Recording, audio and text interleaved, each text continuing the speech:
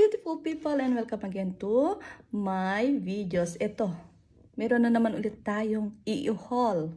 Okay? Dahil, ayan. Regalo para sa aking mga anak. So, titignan natin kung ano ang binigay o niregalo sa aking mga anak. Okay. First, ano kaya mga to? Ayan, damit. Okay. Lagay natin dyan. Ah, okay. Pajama siya. Set siya na pantulog. Ayan. Kanino to? Kay Fatima. Next natin ay eto din. I think pajama din siya at pantulog. May bago na namang pantulog ang aking mga anak. Ang haba.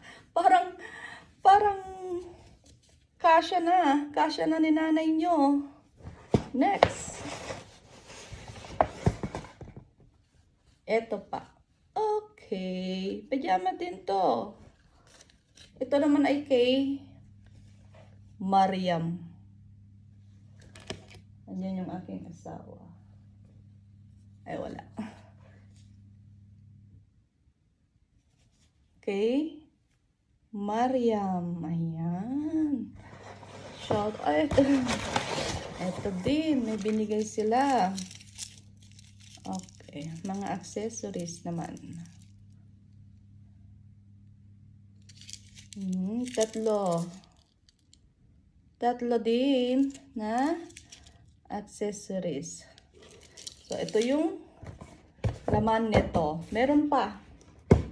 Kukunin natin. Wait lang.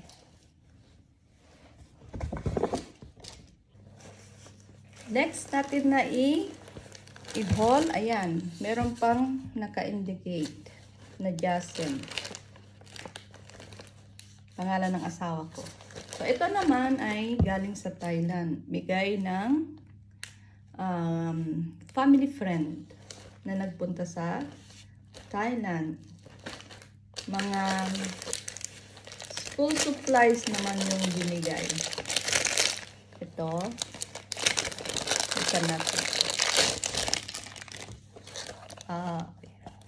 Pencil case. Ayan. So, tignan natin kung magugustuhan ng mga bata. Kung ayaw nila ay ilalagay ko na lang din sa box. Ito. Set siya. Pambabae. Dahil puro babae ang aking anak. Ayan. Binigay. Tatlos, tatlong galon. Na, ah, okay. Iba-iba naman pala yung ano, design. Ganyan. Yung isa, eh, ganyan. May, meron ng sharpener. Pati ito, meron na rin. Sharpener. Buksan natin. Parang iba to. Iba yung una.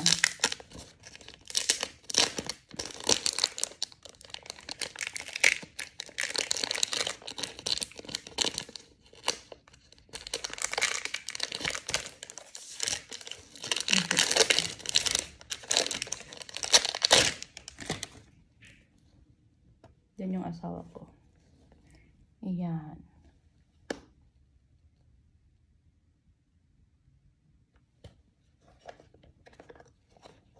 Okay. And then, ito rin. Pang lalaki naman yata to. Spider-Man. Ito, iba din. Okay na siya. Meron na siyang ready to use na. Ang mga to ay hindi pa. Ayan, nandyan yung asawa ko. Nasa kwarto. Naririnig ko. Ayan. So, yun yung ating whole video for today's. Yung mga gamit na niregalo sa aking mga anak. So, next haul natin. Meron pa. Sa akin naman at sa asawa ko. Abangan nyo ang next whole video natin. And this is Nanay Sara. Maasalamat! Bye.